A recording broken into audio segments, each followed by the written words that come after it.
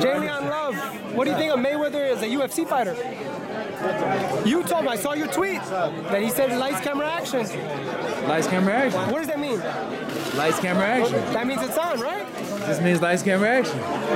You know, you never say too much, right? I learned that. You never say too much. What did you think of the event today, the two watches? This is dope. Uh, this is dope, man. Hublot, one of the one of the finest. I'm a watch guy. I love watching. I ain't got nothing on today, Okay. but you know I got some nice know, watches.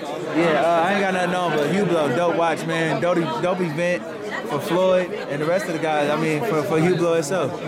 What's up with cool. you? I'm good working hard. Rios, that, Brandon Rios, your friend. Danny Garcia. Nah, man, I'm, I'm standing. You're Brandon- neutral?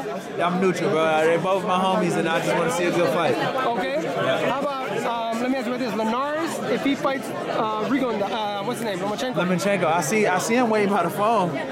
I mean, that's a good fight, man. Both spectacular fighters, man. Champions. Why not? Get a fans Okay. what they want to see. That's a good one. Ron Gavril against Benavidez. No, too. you already know I'm rolling with my man Ronnie, Ronnie Gavril. I'm always do that. You listen, if I know you and I, if I know you and we cool, and I've been supporting you, I'm gonna always support you, no matter what. Roy Jones Jr. retired yesterday. What I saw that, yeah. Scott Sigmon, he fought. Yeah, I know Scott good yeah. I, I fought him too. yeah.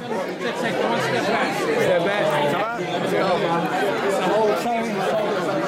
There's a lot of people here today, huh? It is, man. It's kind of small, but yeah. I feel like I'm, I'm. I'm just standing in one spot. I ain't trying to move nowhere. I feel like I'm in a wedding or something.